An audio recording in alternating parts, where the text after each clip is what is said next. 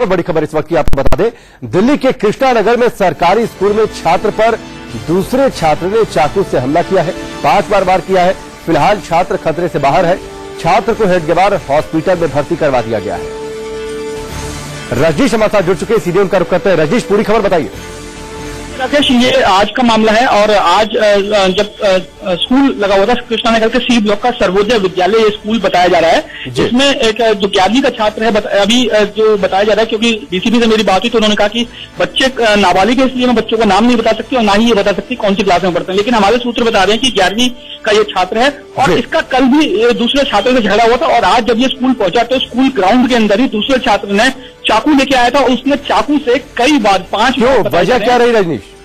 देखिए अभी वजह का खुलासा नहीं हो पाया क्योंकि अभी थोड़ी देर पहले की ये घटना है और अभी छात्र को अस्पताल में भर्ती कराया लेकिन ये कंफर्म है पाँच चाकू मारे हैं जो इसकी कमर पे और टांग में और हाथों में इसके चाकू लगे हैं। हालाँकि डीसीपी का ये कहना है कि खतरे से बाहर है लेकिन जिस तरीके से वारदात हुई है उसके बाद ये कहना गलत नहीं होगा कि कहीं ना कहीं जो स्कूल की सुरक्षा व्यवस्था है सरकारी स्कूलों की उनमें सवाल निशान लगा है कि आखिर कैसे चाकू ले जाता है कोई छात्र और दूसरे दूसरे छात्र पर हमला कर देता है। जी।